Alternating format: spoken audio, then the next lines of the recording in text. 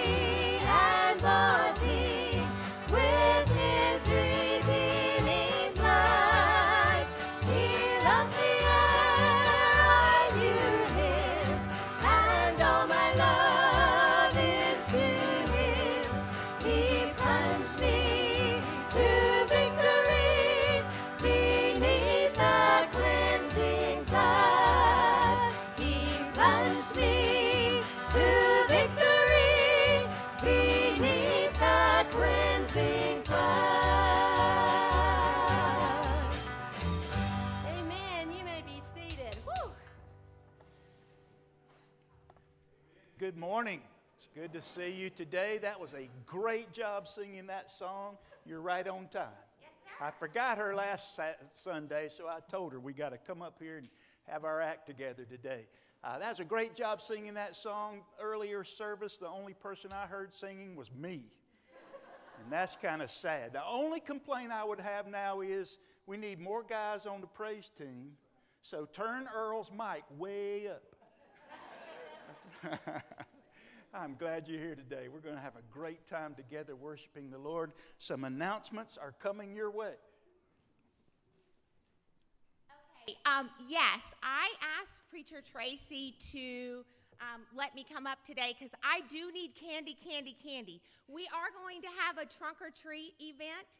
And uh, we just don't know what time exactly. So we may have a trunk or treat in the morning of the 31st or in the evening. We got to knock that down because Deb Tucker has been um, talking to me about putting it in the paper, and so I've got to d- make those decisions. But I do know the town is going to have the regular trick or treat, and we are trying to be safe and COVID friendly. So I want to make sure that we um, definitely have a drive-through event. Uh, also, I think the Methodist Church across the way is also going to have some kind of drive-through trunk or treat. So I'm super excited about that.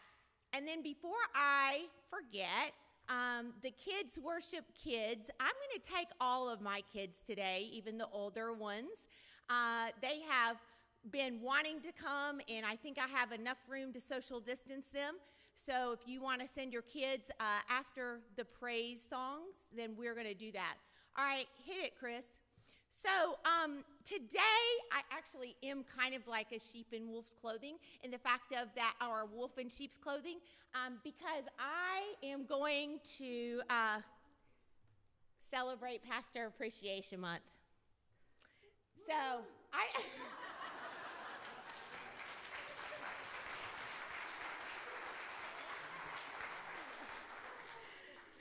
So October is uh, Pastor Appreciation Month around these parts. We usually do it in November because uh, uh, I'm in charge. So I'm actually on time and feeling so great about it. And so we want to take a few minutes to kind of love on our pastors. It has been a tough year, 2020. And I think all of us are ready for 2021. I've not ever said that, that I want to fast forward time, but wow, maybe. And they have kind of led us through what I would consider the world valley.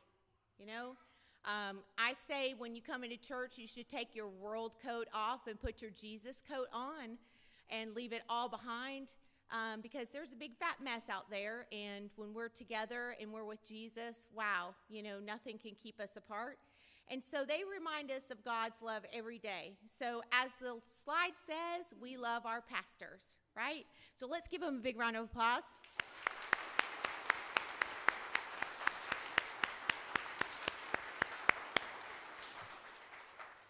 So, um, yeah, this is like stretched a little funky for me, but um, that does in there, uh, the colors didn't come over, but it does say Dr. Jamie. Thank you for giving us a pizza, your heart. Oh.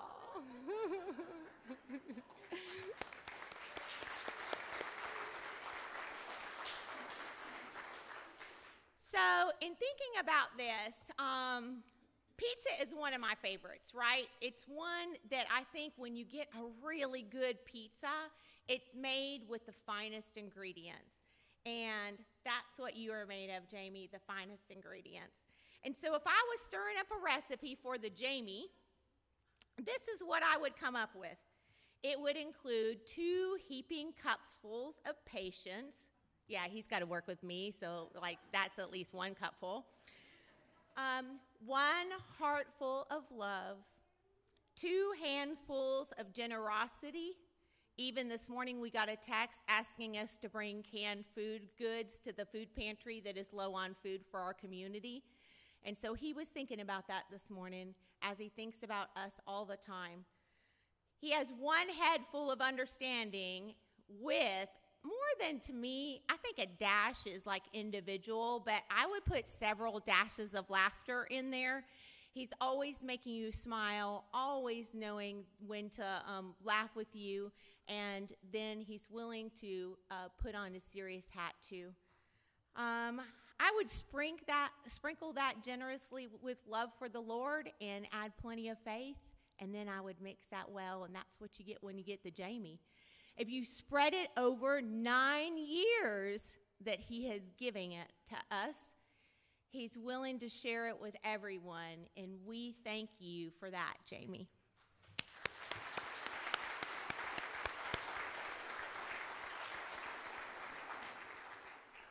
So I told him I would keep, like, I told him that I was going to try to be on time a couple months ago, like, get this done. And he says, Oh, I said, but I'll try not to cry. And he says, Oh, go ahead and cry. And I, he might just let me cry here. I want to thank you for sharing your ministry, your family, your love of our Savior, and not only with the youth, but you share it with all of us. And I appreciate that. This year, to show you that we um, love you, we got you this perfect shirt to eat pizza in. Of course, you know, go ahead and show the picture because goodness, it's on its way, but uh, the hurricane slowed it down. Um, I hate when that happens. And since you can't survive on pizza alone,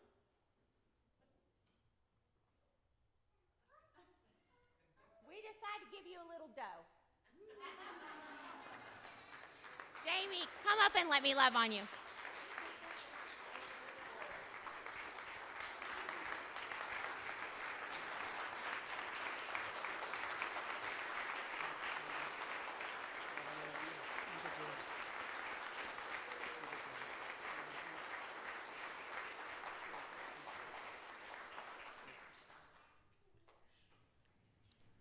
Uh, Jamie, those are real pepperonis, so um, the money might be getting greasy. So if you could just open it up and like take them off real quick, that'd be great.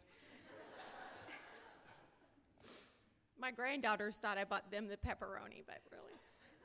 Okay, Pastor Tracy, I want to thank you for taking a hike with us. I don't know if you know this about Pastor Tracy, but he loves to hike. He loves to take time to enjoy God's creation that He has given us. And two, when you came to First Baptist, you had entered retirement and you were on a new journey. I'm sure you were excited. and yet, this quote came up You and you embraced the detours. The detour was Honea Path First Baptist Church. And the new hike God had in store for you, you are willing to listen to Him and to give your time and your heart and your love of the gospel to help First Baptist take their next step. We love you for that. Thank you. As you continue to enjoy this passion and to honor you, we bought you an annual National Parks Pass an annual South Carolina States Park Pass, and both of these will allow you and up to four guests free entries into any national and state park. And we got you this great. Well, I think it's great. I don't know. You know, probably we probably got the wrong thing, but here's a hiking backpack for you, of course, and one of these pullovers. Happy Pastor Appreciation. We love you.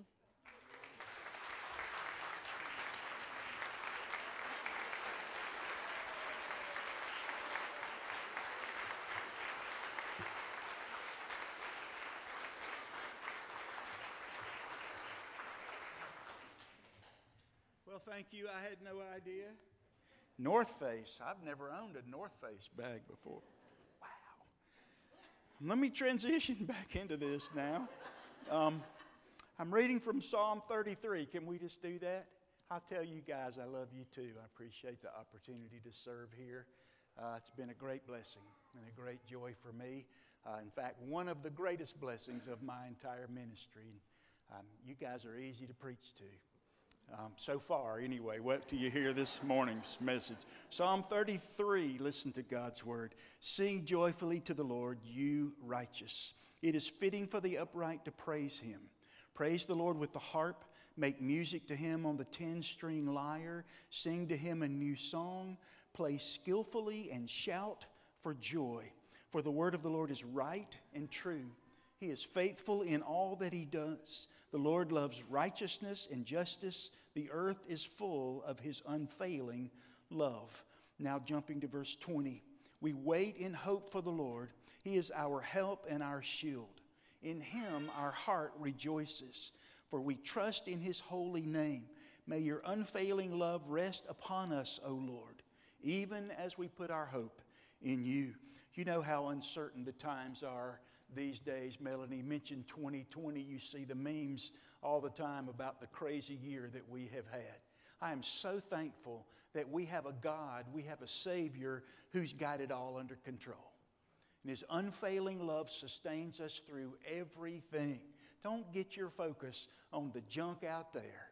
Just focus on the Lord's Word and on His presence in your life, and it's going to be okay.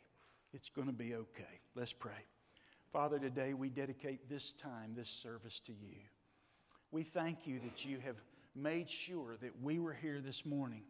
Don't let us miss the fact that you set this all up, that you have purpose and intention, and you have a, a will that you are exercising to perform in our lives and in our midst here.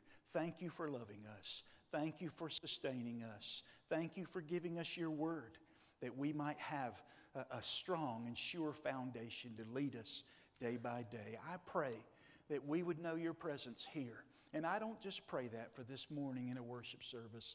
I pray that this church would be anointed in the power and the name of Jesus. I pray that we would understand everything you call and intend for us to do, and then we would do it. We would obey, we would follow you with every bit of strength that we have, and we would see and know that you are with us and that you are working for your glory. Do it here in this time. Do it in the days ahead in the life of this church. We pray in Jesus' name. Amen. Amen.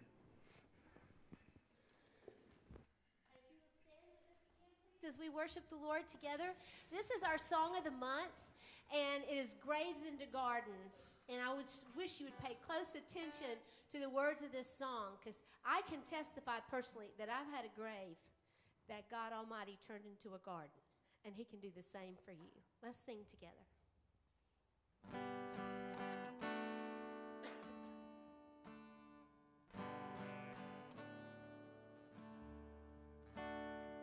I searched the world,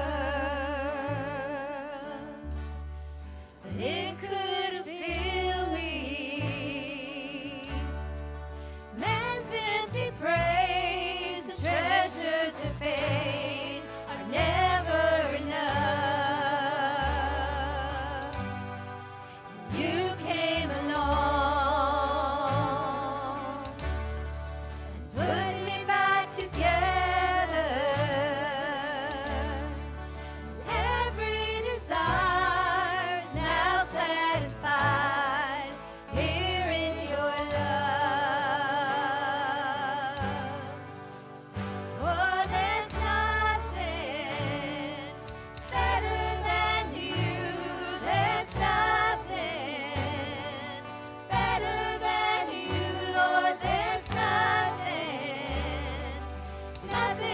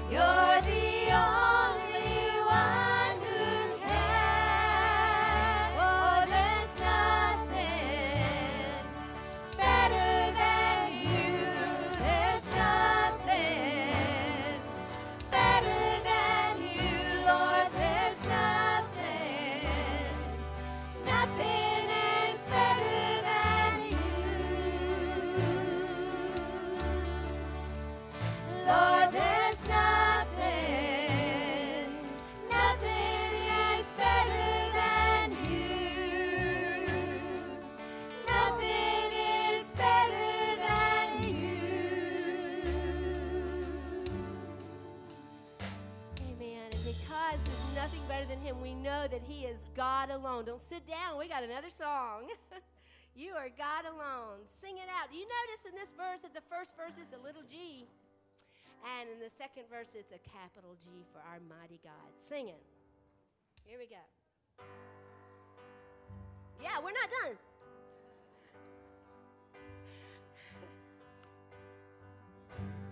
You are not a God created by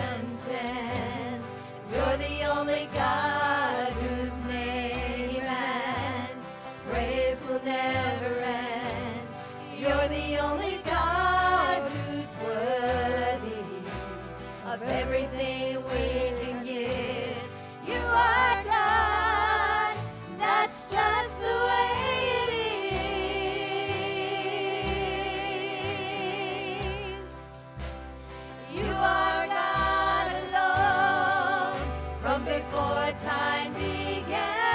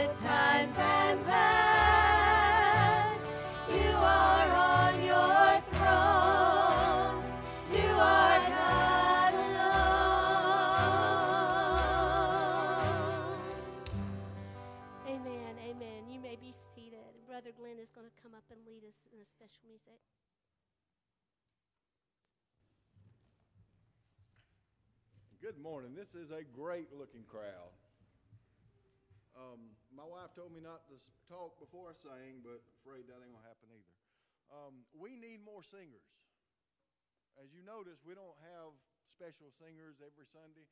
This is a talented group of people, and we need you to contact anybody and say, "Look, I'm willing to sing, uh, preferably Sheila, but you need to sing, okay?" And I know we got Chicken Man and the Wing Nuts. Y'all need to sing a little bit more often. Um, but anyway, this song is entitled Rock of Ages, Cleft for Me. A cleft is a very, very deep schism or a, an indention in the very foundation of life. And God will make that for you, and He will create a refuge there.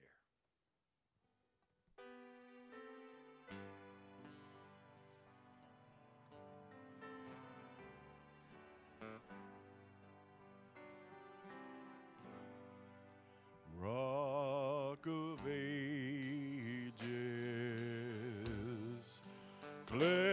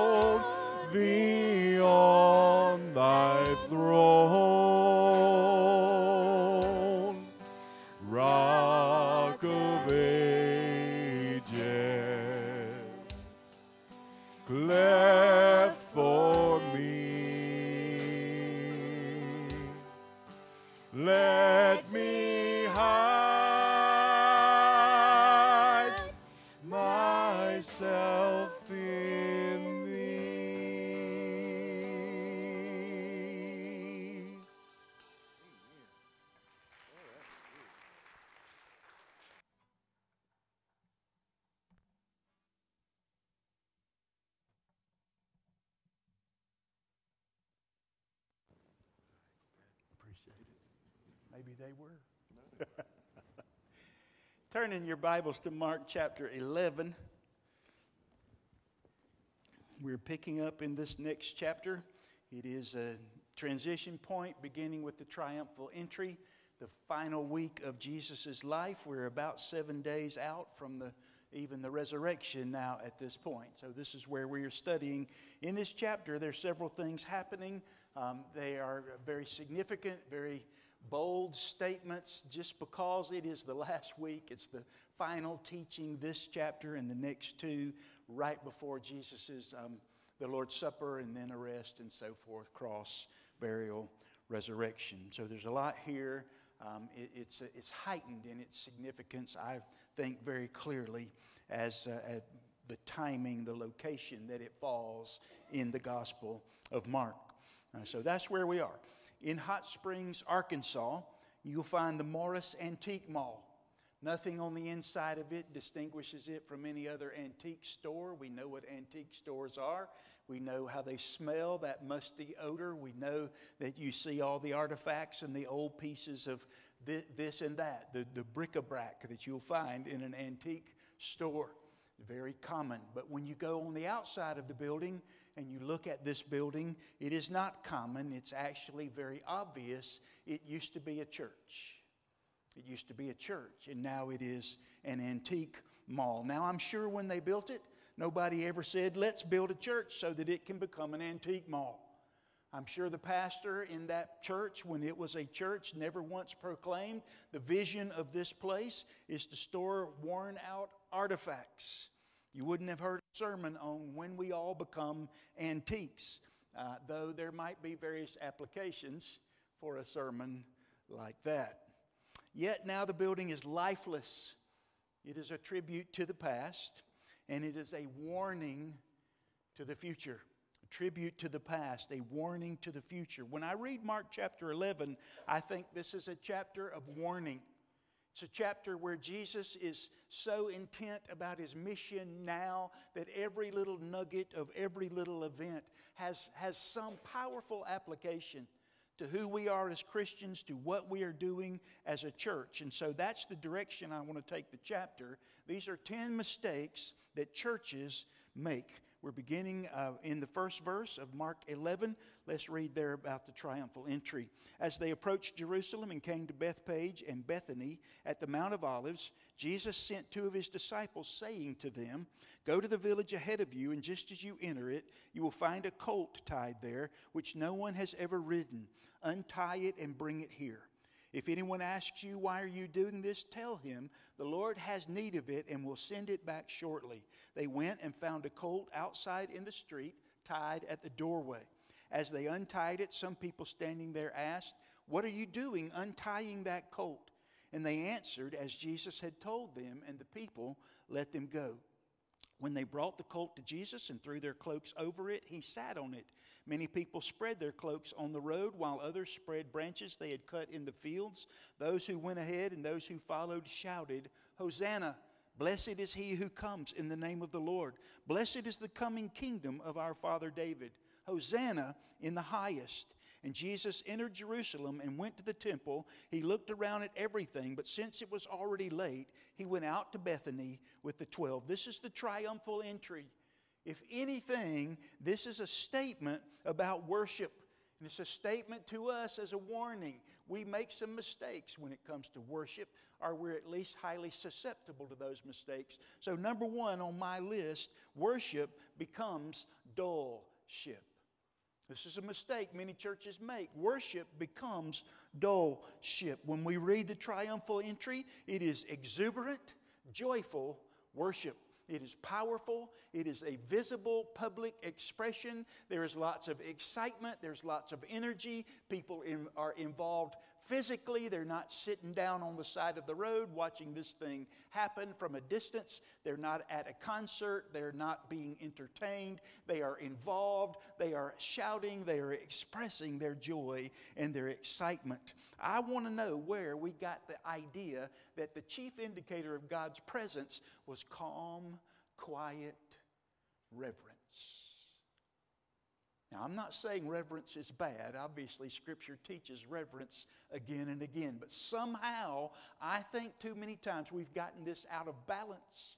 We've gotten a little warped in the way we understand it. If you consider in your own life the way God has made us, our emotions surge within us. We love to get excited about things. We love to see something that builds energy, that puts a smile, that gives you great enthusiasm. We love to be where that's happening and to participate in it. And I'm also confused because when I look around, I see a lost world that's crying out for meaningful excitement, for something that really is worth getting excited about. And the Bible gives clear evidence for energetic worship, for passion in the worship service. And the church says, oh no, worship must be reverent must be reverent. When all along, sometimes we don't really mean reverent, we just mean dull, sleepy, calm, restrained, manageable, comfortable.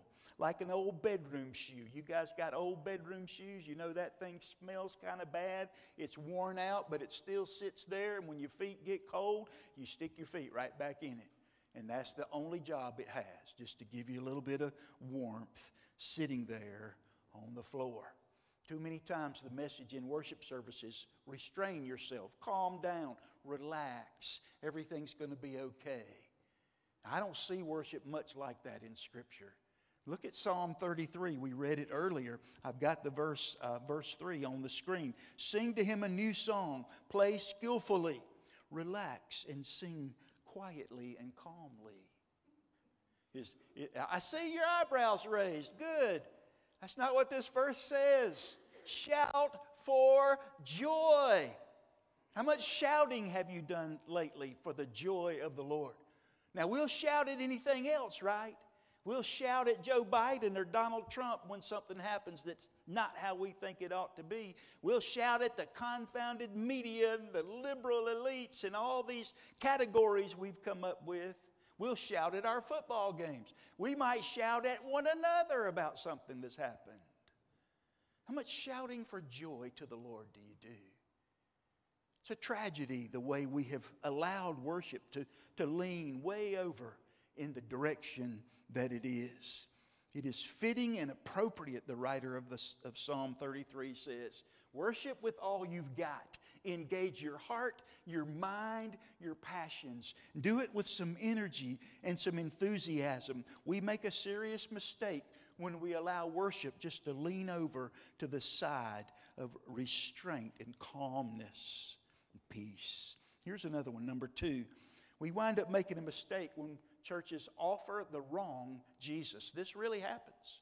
In fact, it's something we have to all be careful about in our own understanding of who Jesus is, what his, his goal, his purpose is. I'm still in the triumphal entry, and here in this event, they shouted, Hosanna to the Son of David. They are worshiping the Messiah, but they don't have a clue who this Messiah is.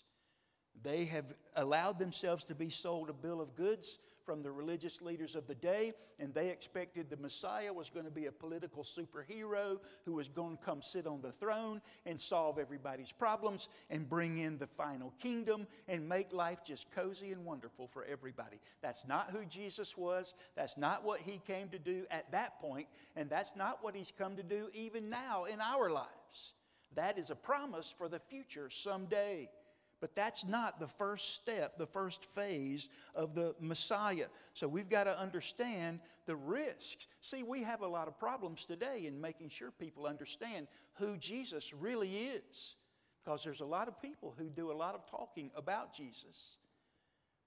They just often can be confused about the true Jesus. He is not the good luck charm in the sky. He won't iron out all of your difficulties and give you a million dollars. Shucks. I understand, but it's the truth. He's not there to simply make you feel better. That's not what his mission is. He didn't come to make all your problems go away. In fact, we often hear the warning in Scripture that if you give your life to Jesus, you're inviting more problems in. You're opening yourself up for more difficulty. See, this world has this idea about stability and calmness and how everything's supposed to go. This world can't ever find any of that. But then you come along, you say you love Jesus, and they look at your life and they're going, oh, That's not the Jesus we want. That's the Jesus that stirs things up, that brings a little risk and danger, that asks us to do things that require a whole lot of faith. And we wind up not understanding that to follow Jesus is to put ourselves in difficult categories sometimes. Consider John 16 33. I have told you these things so that in me you may have peace. This is Jesus promising peace. And then he said this, though in this world you will have trouble. I'm pretty sure we're all still in this world, right? We're still in this world. Peace is a heart condition. The world's on the outside, and we live in this environment. In this world, you will have trouble. Take heart. I have overcome the world. That'll really put a damper on the Jesus wants me to be rich and prosperous theology, which is not found in the Bible anywhere. Jesus said, You need to put your faith in me, and I will help you and sustain you and do wonderful, incredible things in your life. But He never said, You'll never have difficulty if you do that. You'll have more difficulty. If you serve the Lord, that message needs to be what we proclaim to people. Here is the real Jesus. Let's go to the third one. Number three, verses 15 through 19 now. Jesus is clearing the temple. On reaching Jerusalem, Jesus entered the temple area. He began driving out those who were buying and selling there. He overturned the tables of the money changers and the benches of those selling doves, and he would not allow anyone to carry merchandise through the temple courts. And as he taught them, he said, Is it not written, My house will be called a house of prayer for all nations? But you have turned it into a den of robbers. The chief priests and the teachers of the law heard this. They began looking for a way to kill him, for they feared him because the whole crowd was amazed at his teaching. And when evening came, they went out of the city. So here is this teaching, this expression that Jesus gives on what should be going on, on what the attitude and idea should be in the life of the church about money money. The mistake we make often is we wind up looking at money as for personal profit. Here's how this works out now everybody's supposed to come to the temple and make particular offering sacrifices at particular points throughout the year. You have people scattered all over the nation, some of them coming far away. Some of them are very limited in their means and capabilities. Their wagon's not big enough, or they don't have the equipment to bring the animals for the sacrifice. And so, of course, we need to help these people. And wouldn't it be great for us to line up all the animals and we can take that little corner in the temple right over there and we can make sure these animals are of the quality necessary for the sacrifice? They had to be the best, spotless, pure. We had to be able to provide for these animals and feed them and take care of them. And we're giving our time to all of this. And so the next step in that process becomes oh, yeah, temple real estate is pretty expensive too. And we have a certain skill level and expertise in providing these animals. So, of course, we need to be paid. And after this began for a while, it became we need to be paid even more. And then it became hey, these people have to buy animals. And you know, if we told them that the only certified animals were the ones sold in the temple, then they have to buy our animals. Which means, since these are the only certified animals, we can charge a number one premium prices. So show up and get your premium animal and leave your premium denarii right on the table. Thank you very much. Have a nice day. This is how this went, and it became clear to Jesus uh, before he even got there this is usury, this is robbery. That's why he uses the phrase den of thieves. They have taken what God intended for the highest ideal and turned it into the worst possible ideal. All about the money. It's a simple little racket. Now, here's the danger. In churches today in America, you'll find some of the richest places in our country. I know there are churches struggling with small budgets and real challenges, but there are some churches, many churches, with big budgets and lots of money. It becomes very easy to get the wrong attitude about all the money. Why does God give money to a church? For ministry, for the evangelism of lost people, for the needs of struggling, hurting people. Yes, I know we have to pay the bills. Praise God, we have to pay the pastor. I'll say amen to that. I understand that. Yes, yes, we send the kids to camp. Yes, we put gas in the van. Yes, we have to pay the electric bill. All of those things. The budget is great. Thank God for blessing and working to provide for those needs. But we're always in danger for seeing money the wrong way. We're always in danger of wanting to lock our arms around the money and say, Look how the Lord has blessed our church. We better make sure that we protect it and preserve it. We better make sure that nobody else gets their hands on it. We better make sure that we don't spend it for something that's not, you know, the most exact, perfect thing that we're supposed to spend it for. This is dangerous territory, folks. In fact, I would say to you, every penny that we have, God gave it to us, right? And every penny that we have, God gave it to us for His purposes, for His intention. And when we don't use it for that, guess what happens? God finds somebody else who will use it for that. That's exactly what happens. And so we get into real danger where a church winds up sitting on its pile of cash, hoarding the money, and thinking that it's blessed, and the church is not doing the thing it's supposed to be doing. We must never forget that our calling is to do ministry, and the money is the tool to do the ministry. And the focus has to work just like that. There's another thing taking place here in the triumphal entry, verses 15 through 19. It's number four on the list. Don't rock the boat. Don't rock the boat. Just imagine the uproar that Jesus caused the day that he cleared the temple. They were in their normal practices. They were following their order of service. Everybody knew how all of this went.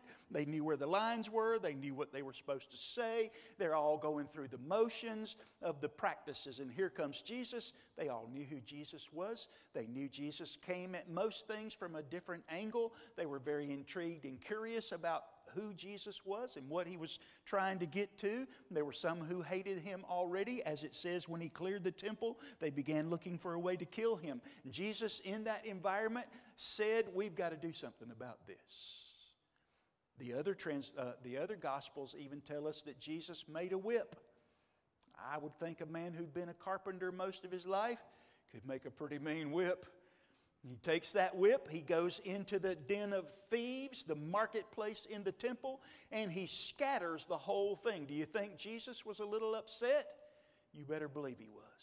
This is righteous indignation. I would say his face is red. I'd say the, the sweat's pouring off. I'd say he might have even raised his voice just a little bit and stirred up this situation. What does this mean for us today? Look at the way we do church today. We all have it all figured out. We know how everything's supposed to work. We know who's supposed to do what. We know how we're supposed to dress on Sunday morning. We know we've got a little piece of paper with an order of service that tells us exactly what's going to happen. I wonder sometimes if the Holy Spirit started rearranging the order of service, if we might not say, Oh, calm down there, Holy Spirit. Don't rock the boat. See, we think everything's supposed to just be calm and placid. It's supposed to go the way we pretty much have already determined. But when God gets involved in a thing, it never goes the way we have determined. You can't tell God how He's supposed to do anything. Anything whether it is the way we function as a church or what's going on in your life or what you're dealing with. Now, it's okay to say, hey, God, I don't understand this. Or, hey, God, I thought this would be this. And He'll work with you on that. But still, His agenda rises to the top. His will is what supersedes any thought that you and I have. I long for the day when things could go in such a way that something could happen and we would say, Wow, God showed up in the place and He did a thing. Boy, I was never expecting that. Wouldn't that be something? Wouldn't it be amazing? Many times when we have all of our structure and all of our orderliness and everything just like we want it to be, I wonder if it's not so much a sign of the presence of God as it is a sign that we're all asleep and nobody really even cares. Right? How many times? We're all asleep. So let me ask you this question. It's a yes and a no answer. I understand that. Is peace and calm a sign of God's presence or more an indicator of our apathy? Which is it? We really have to examine and understand our hearts when it comes to that. Let's move on. Number five. It's uh, right out of verse 17, that one statement Jesus made. He taught them, saying, It is, is it not written, My house will be called a house of prayer for all nations? You have made it a den of thieves. It is written in the Old Testament, Isaiah 56, verse 7 to be exact. And when Jesus spoke this verse from memory, it became written in the New Testament too. In the Isaiah passage, it says that the temple becomes the gathering in place for all of God's people. It becomes the symbol of the presence of the locality and the availability of God. So we want God in our lives. He's in Jerusalem representing himself there. That was what the temple stood for. The New Testament, though, expands greatly on the idea of the temple. The New Testament expands greatly on the idea of the temple and makes it pretty obvious that God had something much greater in mind than just a building in a city somewhere, one place. In fact, you know where the temple is now, right? You know what the New Testament says about the temple? Look at 1 Corinthians 3:16. Don't you know that you yourselves are God's temple and God's spirit lives in you? You yourself are God's temple. So think of this. Jesus said, "My house, my temple, the temple shall become a house of prayer."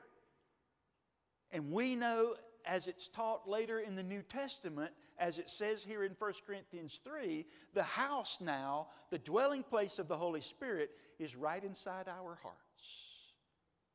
So, what does that mean about our own lives? What does that mean about our own bodies and our own minds? Wouldn't it stand to reason, just logical deduction here, that our lives now are the representative of the house of prayer? The house of prayer. What that is telling me is a simple affirmation of the, the importance, the significance of your relationship with the Lord. I know you've heard the teaching before. You've been in prayer seminars or prayer sermons or read prayer books. The, the ultimate meaning behind prayer is that is your daily walk and communication with God. It's not your going to Him when you need something or when you have a problem or somebody else needs some help. It is your constant communication with Him. And so your prayer life becomes more than just what you do in a minute or two in the morning or what we do in a Sunday morning or a Wednesday night. Your prayer life becomes the, the measure, the thermostat on your whole relationship with Jesus. So I'm dealing with situations day by day. I need the Lord's help day by day. I'm dealing with this problem that shows up at 9 o'clock, this person that shows up at 11.30, this thing when I get home at 5.30 or 6 o'clock. All of these things, I need help, I need wisdom, I need direction, I need strength. I just need to know what God would have me do. How does God get that through to me? It's my constant prayer life. My, my house is a house of prayer.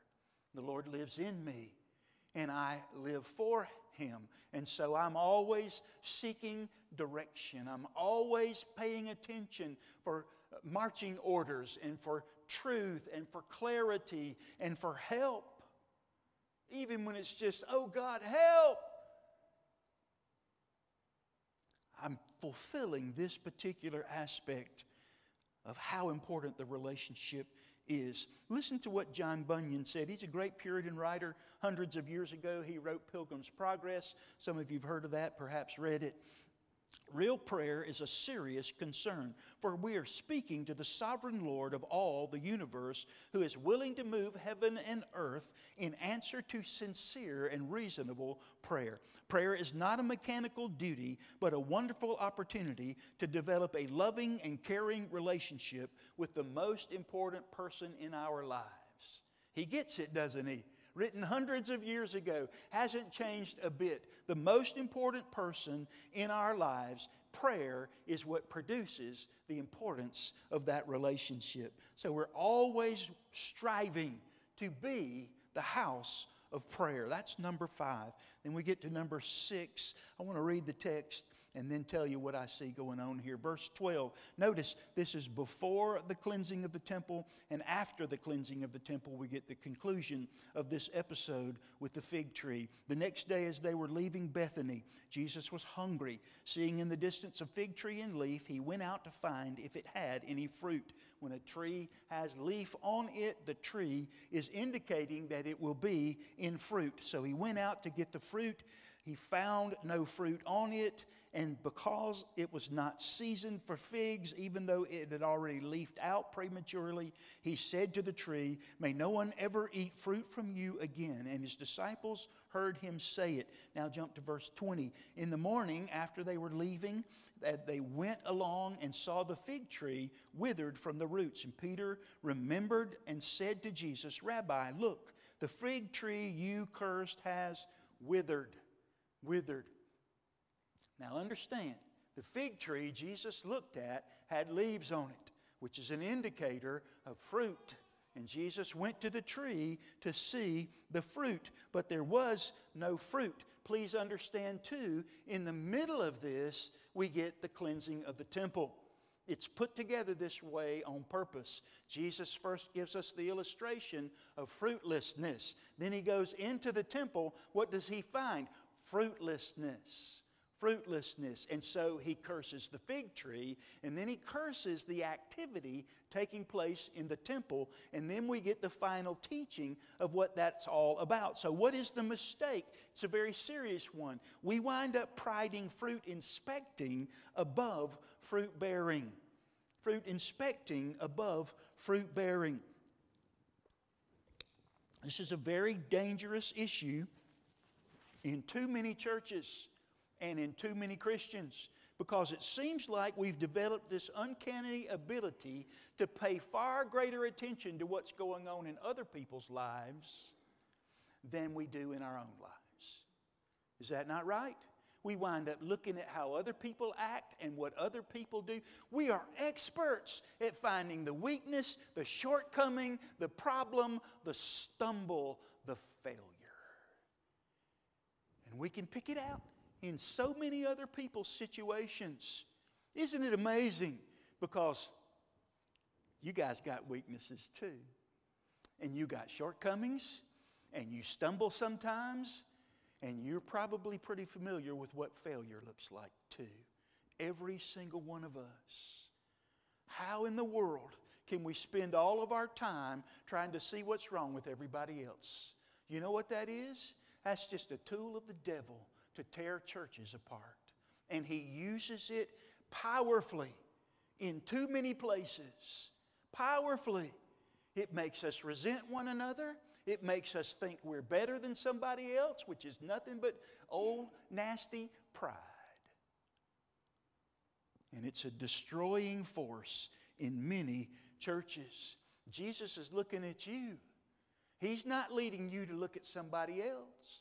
You remember what he said to us? Get that beam out of your eye before you're worried about the speck in somebody else's. That's your huge problem that's visible to everybody. What qualifies us then to go worry about somebody else's problem at that point? Deal with your own problem. I want to tell you something. The gospel's supposed to do something powerfully in your life. It's supposed to have massive change effect in your life. And so when you say, I believe that, I want that, I surrender to that, that invites Jesus to come take a look at you. He's looking for fruit. He's trying to prod you to produce fruit. He's calling you to do something for His name and His glory. And you have the responsibility to do it. Let me just say this too. I'll go a step further. What about churches? How many churches do we really need? Question? How many churches do we really need? Do you know in Anderson County, the Saluda Baptist Association has 84 Southern Baptist churches? There are probably just that many other churches of other denominations. That say they're evangelical and they believe God's word. All of these churches, they have full calendars, impressive facilities, large budgets. They have so many people involved in so much stuff. And that's pretty much just what it is stuff.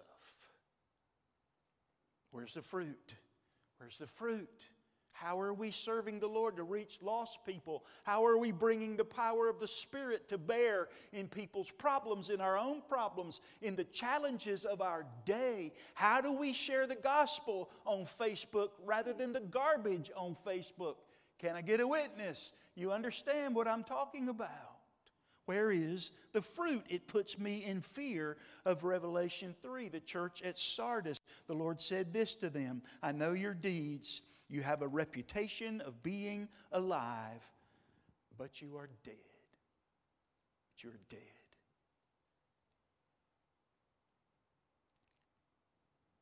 It would be a worthwhile spiritual undertaking for you to look at your church, not everybody else's place in it, but your place in it.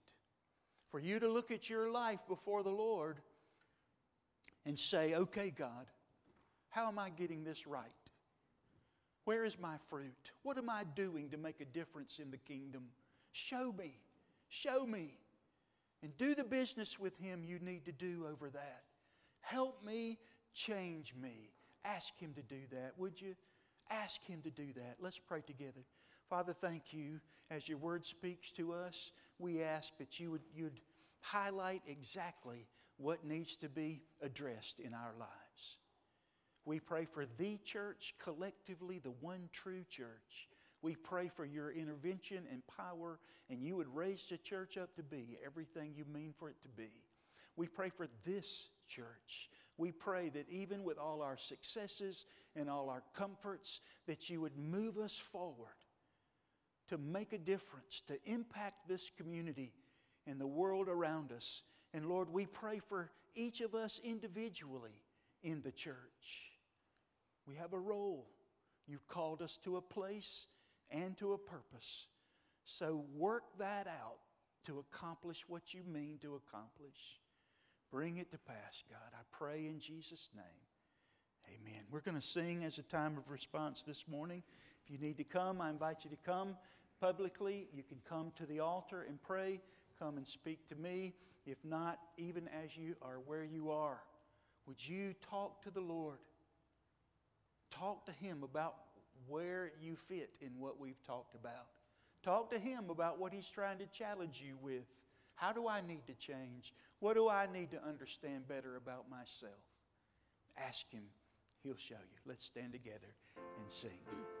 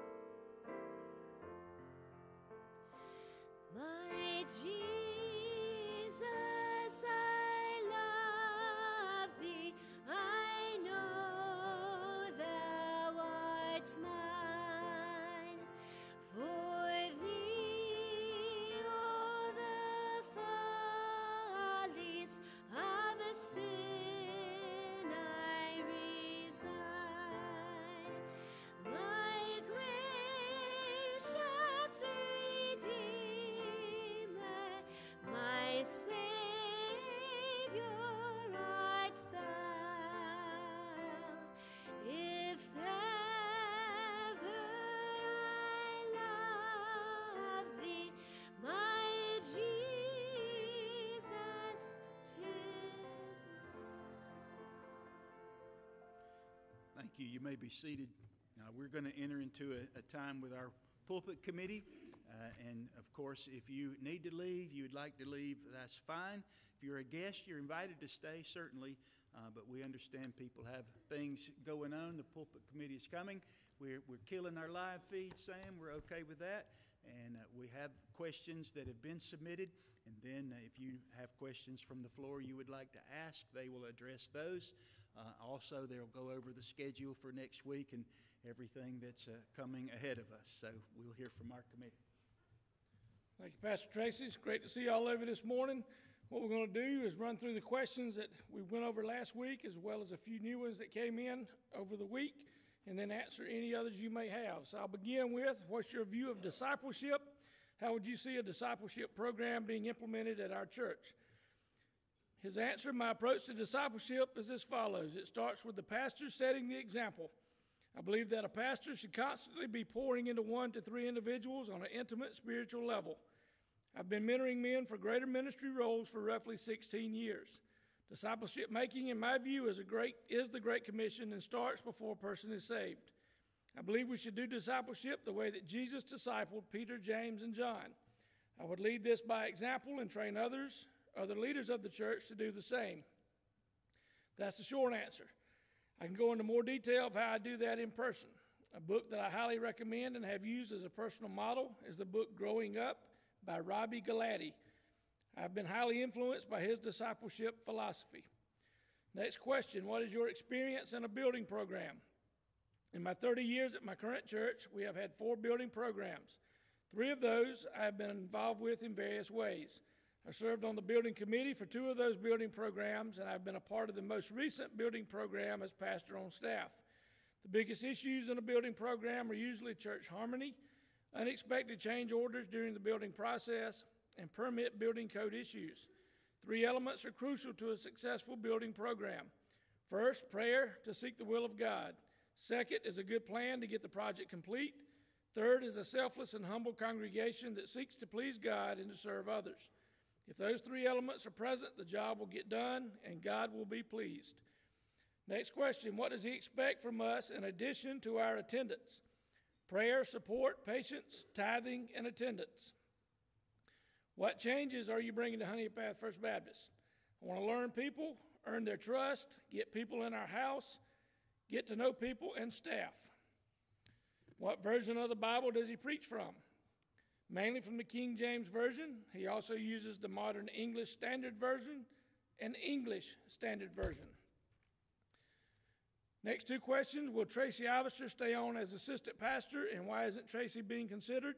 You heard Tracy's heart last week as he told you how he responded to God through prayer, and he's uh, being obedient to God and withdrew his name.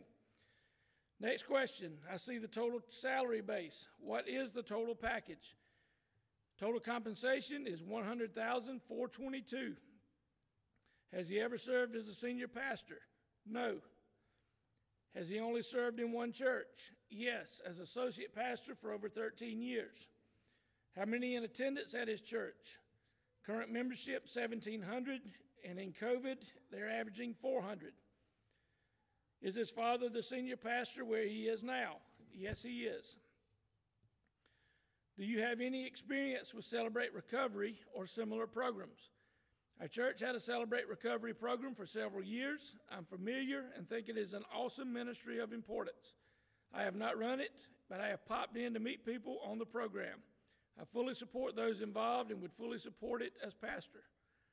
What do you see as your role with that ministry, meaning CR? My role in the ministry is to shepherd the leaders and support them with whatever they need. How do you foresee your role with different age groups in the church? I would love and spiritually nurture each group as best I can. I would also be available to the leaders of different ministries to help nurture them also. How do you interact with various groups? Make time to get to know them and be available as much as I can. I would also host different groups of the church in my home to build relationships spiritually and to spiritually advise them as needed. What does Dr. Phillips feel about small groups outside the church to study together and serve the Lord together? I fully support small groups at home as long as they are organized to be effective and theologically accurate. If they are led by the spiritually by spiritually solid and organized group leaders, I'm all in. With that, what questions from the floor?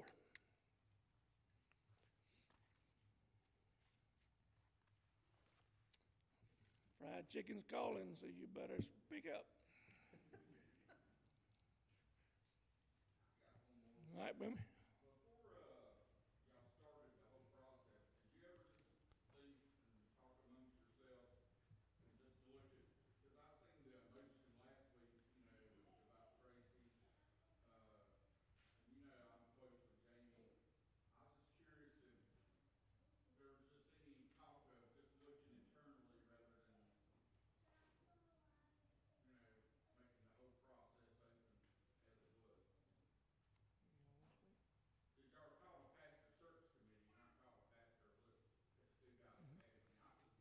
I think the answer.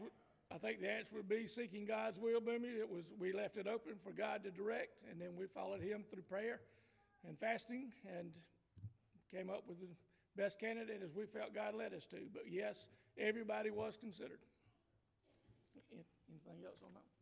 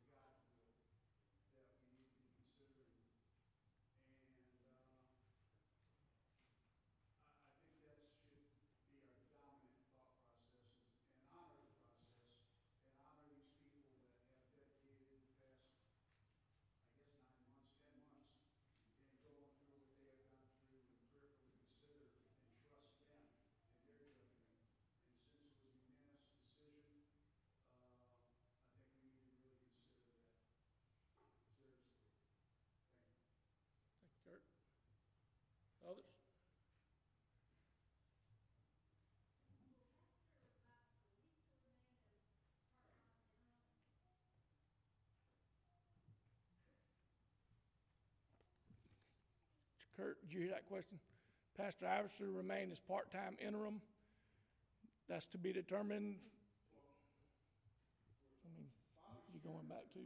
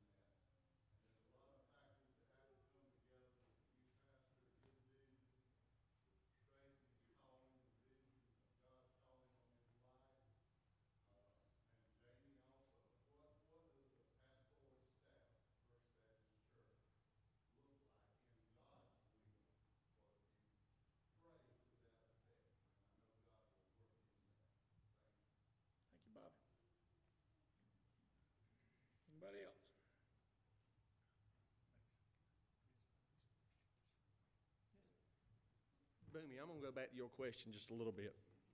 Um, I was thinking as you, you're asking the question, um, you know, we wanted to open up the process um, for a pastor to see, you know, what kind of availability was out there for us. Um, so, first, the first thing we did as a committee, we ran it through the Baptist Courier. Um, I don't know, two to three months, Mason. Uh, we ran an ad through the Baptist Courier. We got about 64, 63 resumes.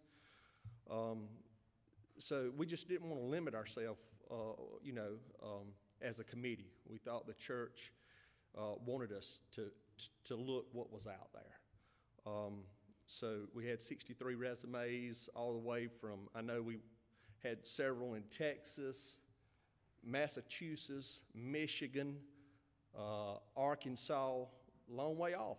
Um, so, so we looked at every resume, um, and you know the ones we really liked, we kept to the next process.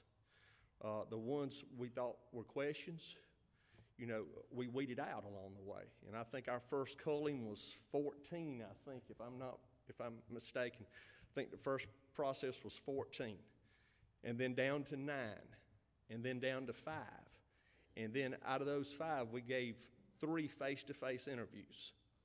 Um, so that's where we were as a committee, and that's the process we took.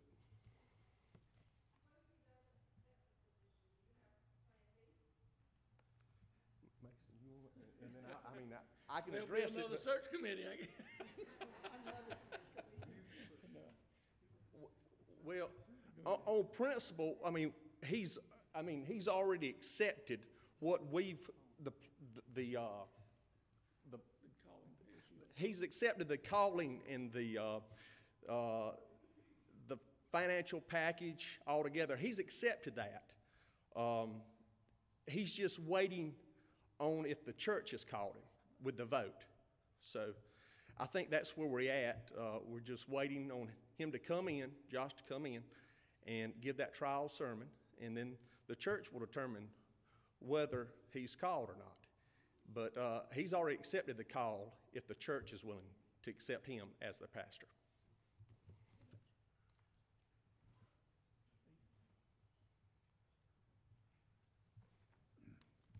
Okay, I just have a couple of announcements, uh, real quick. I hope everyone got their update on the calendar and the scheduled events. Next week is a, next weekend's a very, very busy weekend.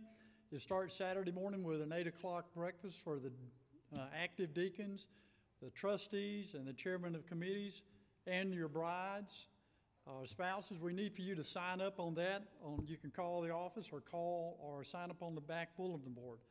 Also, on Saturday, the events uh, for the children start at 10 o'clock, run through noon. There's going to be pizza, an ice cream truck. There's going to be Fantastic. There's going to be other games. Melanie continues to come up with ideas, so you know that thought process is continuing to move rapidly. Uh, also, there's going to be a game. We're going to have a big screen uh, out in the back. We're going to watch the Clemson game. I know if you folks aren't Clemson fans, we understand, but you need to get your lives right. I didn't mean to say that. Okay. Uh, and then also uh, at uh, at 3:30, we also have uh, the teens who are meeting with the pastor. There's going to be snacks, and yeah, this is a good time for the teens and their parents to come and meet the pastor, meet meet his bride, and just ask those hard questions that may be on your heart and mind, and get to know him a little bit better. At five o'clock, we're going to do the pumpkin carving. It's going to be socially distanced. This is a big event in our church. We're looking forward to that. And then at six o'clock, that's going to go from five to six, and at six thirty we have hot dogs. So it's a big weekend, a lot of opportunities for everybody to come out. I just want to say this: uh, I counted this morning. Today's our largest attendance we've had since COVID. There's 185 folks here today, so that's great. So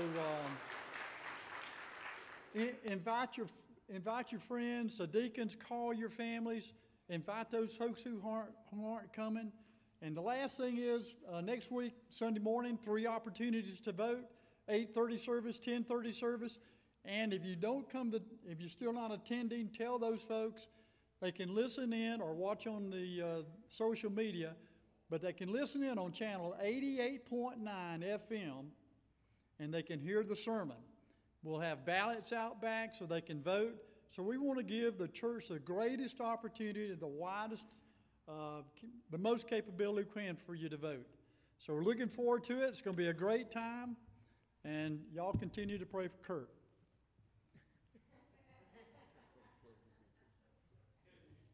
Allison, it's good to see you back where you belong. She's a coronavirus survivor now, as is Sheila. She's back there. We're excited that they are here. Would you close us in prayer this morning, please?